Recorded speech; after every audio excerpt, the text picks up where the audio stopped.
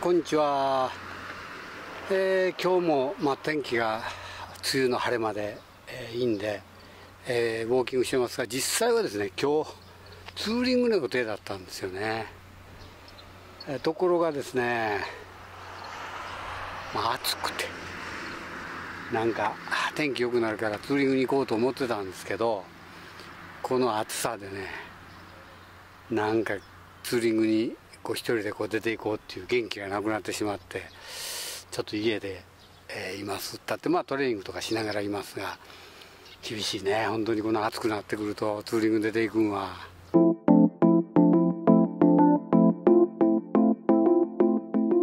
本当はというか自分でねこれぐらいの暑さでは出て行ったらええんですけどね。なんかこうねやっぱ暑いっていうのはどうもこう苦手やね。ほんとダメやね。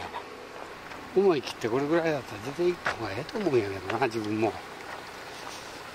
本当にこう下手れやねこれ。は中川の土手までやってきました。やっぱりね暑いと言うても風があったら気持ちいいね。やっぱこれぐらいだったらちょっとスタート暑いなって思うかもわからんけど、えー、バイクでちょっと出た方が一日が充実でいいねこれは。本当に。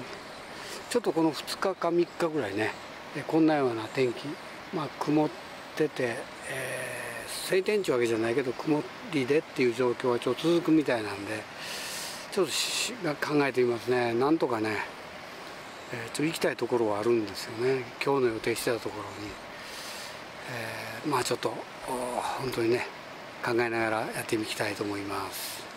今日の夕食はですねまたまた久しぶりにアヒージョをやってみようかなと思っています。アヒージョちょっとこうねえー、まあいろいろと考えながらえー、夕食を楽しんで作っていますけどね。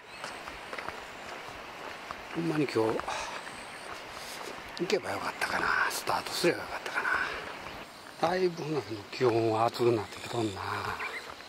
ちゅうかまあ日本の梅雨ちゅう感じやな。暑いし蒸し暑いっていう感じやね。これが大山木の実ですね。この後どうなるのかちょっとこう楽しみですね。この実がどないなるんかな。やっぱりなんか中に種があって弾けるんかな、えー、そんな気はしますね。で中から種がポロッと落ちるという、うん、ちょっと楽しみにしています。この辺ちょっとこうカットしてくれたので、えー、通ることができるかな。あ今。やっぱカットはしてあっても雲の巣があったな。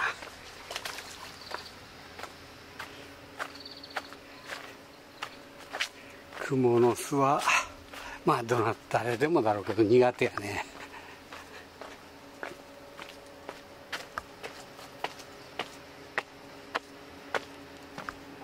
ああだいぶ汗が出てきたな。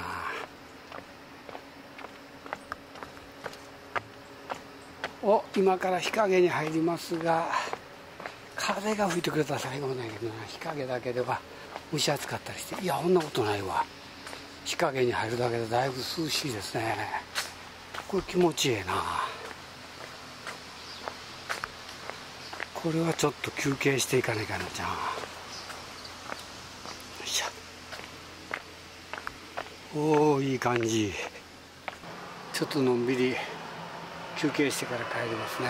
のんびりだったらあれだけどちょっと休憩したら帰ります、えー、今帰ってきましたがごっつい暑いです、えー、距離3.3キロ。